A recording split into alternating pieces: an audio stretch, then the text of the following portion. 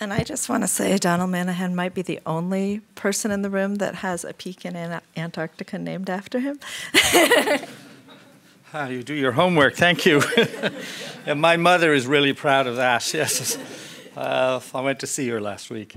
Um, I, am thrilled to be here. Uh, I uh, want to represent on behalf of the National Science Foundation our enthusiasm for the field of evolution, comparative genomics, and function, and so forth. But I thought I might just spend uh, just a moment, because I know even from the brief chats this morning over coffee that somebody says, well, what do you actually do at NSF? It's not really my, my sphere of thinking. And that, of course, is why we have these kinds of meetings. It's an opportunity to look at areas of emphasis across the different agencies. So, for example, at the National Science Foundation, one of our big 10 ideas, as we call them, is understanding the rules of life, predicting phenotype.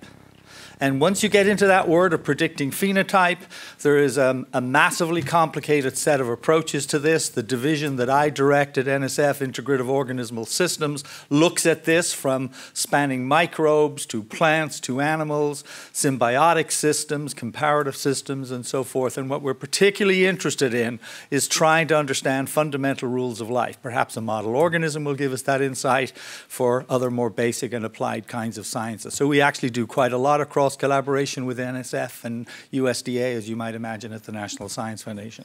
I think in particular, I wanted to bring to your attention that there's, I believe, nine program officers here today. Uh, on, I won't have them all stand up, but you'll you'll see them listed on your participant lists. Please make sure to, if you want to learn know more about the details I've just described, have a chat with them. I think that's a representation of how keen we are on these kinds of collaborations. That there's about nine or ten of us here today who really want to understand and help build these kinds of bridges. Uh, to give you a specific example of understanding rules of life, uh, the, the, journal Nature, I believe one of the, there's a, a, writer here from Nature today, at least on the, um, I always bring this with me everywhere, just not quite, but uh, there's a wonderful write up on April 25th of a focus in nature on how to address questions of bringing new model organisms into biology with CRISPR tools and other kinds of genetic manipulative tools. So I would encourage you to take a look at this. It's a summary of about a $24 million investment at NSF into looking at these kinds of questions, and it's a very elegantly written article, in my opinion, summarizing the, the challenges ahead of looking at functional genomics, the challenges ahead of looking at husbandry and how to maintain these kinds of organisms, which is why I think these kinds of relationships between ourselves and USDA and NIH are really important, the expense of doing these kinds of things.